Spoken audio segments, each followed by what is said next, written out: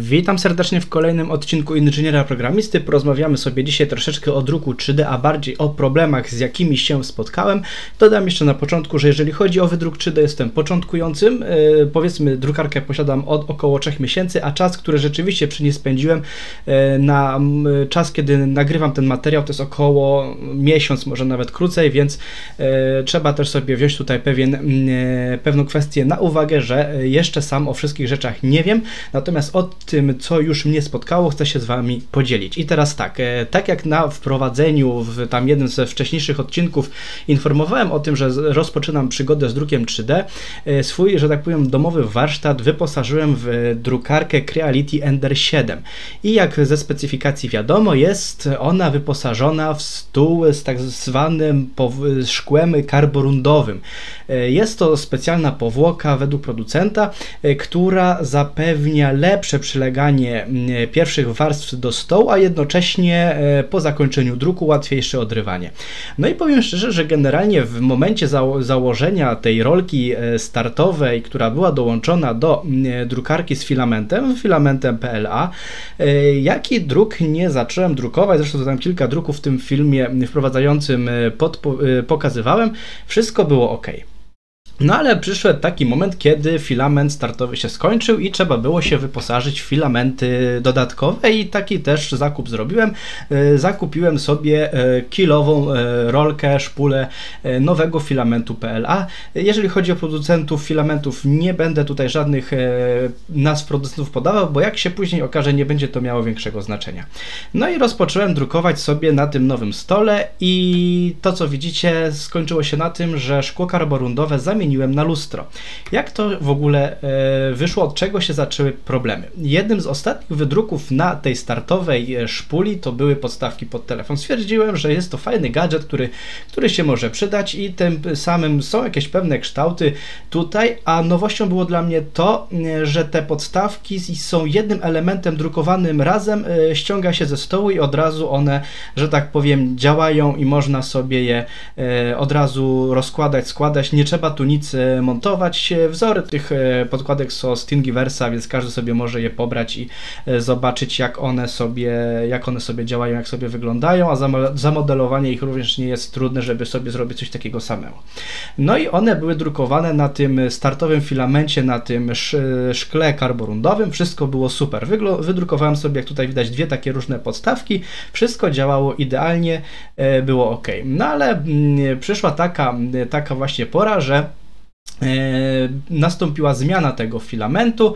E, tutaj widzimy jeszcze pod różnym naświetleniem, różnym kątem te zdjęcia, żeby mniej więcej było widać jaka jakość tych, e, tych podstawek wyszła. No i tutaj właśnie widzimy tą postać taką rozłożoną, gdzie można oprzeć, postawić sobie w tej ryjnięce w jednej czy drugiej telefon i on się fajnie opiera, można sobie regulować kąt, także całkiem, całkiem to fajne i stabilne.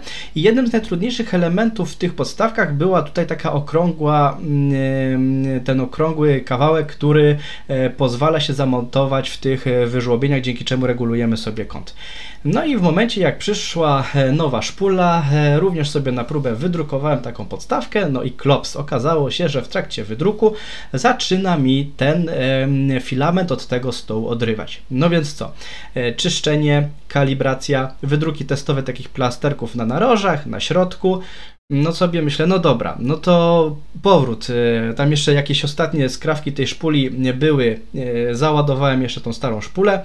E, udało się parę tam warstw wydrukować jeszcze tej podstawki. No trzyma, nic się nie dzieje. No dobra, znowu powrót na filament żółty, który tutaj widzimy. Odwarstwia. Co jest nie tak? No sobie myślę, no, może jakaś, jakiś problem jednak z tym filamentem, no może jakiś wadliwy kupiłem. Zaczynam czytać opinie jeszcze dodatkowo o producencie tego filamentu, o tych filamentach. Okazuje się, że to jeden z najpopularniejszych filamentów na polskim rynku, jaki znajdziemy. Nikt za bardzo problemów z tym nie ma. No okej, okay, w takim razie trzeba szukać przyczyn gdzieś in, indziej. E, próba ze zmianami e, temperatur, e, próba ze zmianami e, na, na dmuchu, na warstwy, na którą warstwę, próba z temperaturami startu filamentu i tak dalej, i tak dalej. Pierwszy, drugi, trzeci, czwarty dzień walki. Co chwilę odrywa warstwa idzie w kosz, no i tak to idzie. No i w końcu zacząłem czytać dalej na portalach anglojęzycznych na temat problemów związanych z odwarstwianiem, no i się okazuje, że generalnie trochę ludzi narzeka na te szkła karborundowe. Czasami niektórzy twierdzą, że są, że są krzywe, niektórzy nie, mają żadnego problemu. No i Stwierdziłem w takim razie, no to może spróbuję jeszcze inny filament. Zamówiłem znowu e, szpulę innego filamentu PLA, innego producenta. Założyłem ten filament, co się okazało jeszcze gorzej. Tutaj widzimy, że w ogóle cały model jest pokrzywiony e, i również walka z temperaturami. Oczywiście akurat jest to producent, który podaje e, kartę techniczną i zalecane parametry druku. E, próba, że wachlowania w różne strony nic nie pomaga. Dalej jest jak jest. Widzimy, że wydruk jest bardzo nieudany i nie da się praktycznie go używać, a jeżeli chcemy sobie tą podstawkę zamontować, widzimy takie coś. Ok, czytam dalej. I co się okazuje? Okazuje się, że pojawiają się posty, gdzie ludzie mówią, e, wymień sobie dowolną podstawkę, jaką masz e, na lustro i zapomnij o problemach z przywieraniem i z, z drukiem. No dobra, w takim razie mm, wymieniłem, zamówiłem lustro. Teraz jak wiemy ze specyfikacji Endera siódemki, obszar roboczy, jeżeli chodzi o stół sam XY, to mamy 250 na 250, ale rozmiar tego szkła to jest 280 na 280, więc szybko tam na, na Allegro i w pobliskich sklepach budowlanych zacząłem rozeznawać temat na temat właśnie wykonania takiego lustra 280 na 280. Od razu dlaczego lustro, a nie szkło? Bo lustro zawsze ma dokładniejszą jakość wykonania, jeżeli chodzi o płaskość, aniżeli szkło. Po to po prostu, aby lustro nie powodowało deformacji. Z tego powodu E, rozglądałem się za lustrem.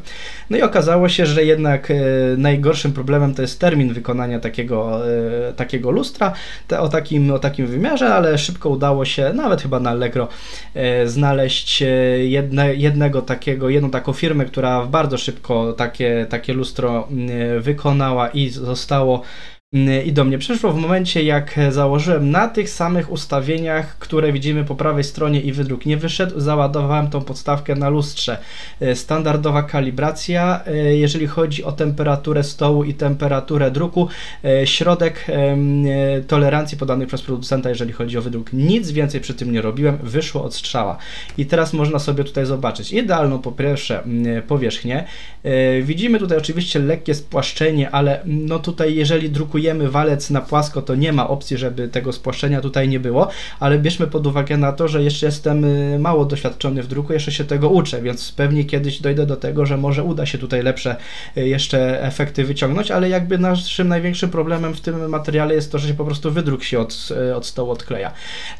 I z jakiej strony bym to zdjęcie tutaj nie pokazał, to się okazuje, że ten wydruk wygląda no niemalże idealnie, nie ma tutaj żadnego problemu, żadnego przekoszenia. Widzimy po walcu, że ten walec jest jest niemal również idealny. Y, załadowałem z powrotem żółty filament. E, do y, takich parametrach, jakie zaleca producent, również wszystko wyszło idealnie. A tutaj mamy jeszcze przykład z tego, że drukowanie jest bezpośrednio na e, lustrze. Jeżeli chodzi o czyszczenie tego, tego lustra, również e, najczęściej co spotkałem to to, że ludzie e, czyszczą to octem. Wziąłem, bo to jest środek, który najłatwiej znaleźć po prostu w domu. Przeczyściłem octem. Naprawdę problem jest, żeby ten wydruk później oderwać. Trzeba mieć dużo cierpliwości, poczekać aż to lustro ostygnie i wtedy łatwo odchodzi. Także tutaj nie spieszymy się. Jeżeli ktoś by chciał również spróbować tak taki eksperyment, a myślę, że warto spróbować. E, z racji tego, że e, lustro jest takim elementem, które w domu zawsze się przyda. Nawet jeżeli e, się okaże, że zainwestujecie w to lustro do tej drukarki, co nie jest na dzień dzisiejszy jakimś bardzo dużym kosztem w takim rozmiarze, to nawet jeżeli ono się nie sprawdzi w jakimś przypadku, aczkolwiek z tego, co przeczytałem po opiniach, jeżeli poszperacie w internecie, to raczej nikt z takim, z takim rozwiązaniem problemów nie miał. Oczywiście mówię o takim materiale jak PLA, bo nie wiem jaka za ABS. Podejrzewam, że za ABS-em może być problem na na, lustrze, być może kwestia temperatur, ale jak dojdę do ABS-a, y, do ABS-u, sprawdzę znowu na tym y, szkle karborundowym, y, jak tam będzie sytuacja wyglądała, ale to myślę, że to jest jeszcze daleka, mm, daleki czas i, i wtedy zobaczymy co i jak.